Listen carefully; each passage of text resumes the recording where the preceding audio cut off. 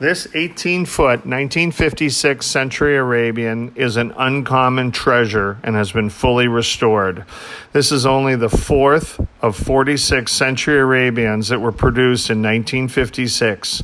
Known as the Blue Arabians, these boats underwent a special stain and finish process at the factory. It produced a beautiful and unique finish, which has been faithfully reproduced as original on this example. Stunning in every detail, the boat features a new no soak 3M 5200 bottom.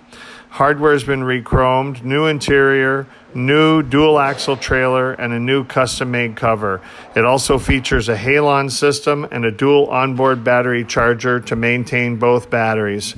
Incredibly rare and exquisite in every detail, and is being offered for the discriminating collector. This 18 foot 1956 Century Arabian is being offered for sale at the Antique Boat America showroom in Clayton, New York.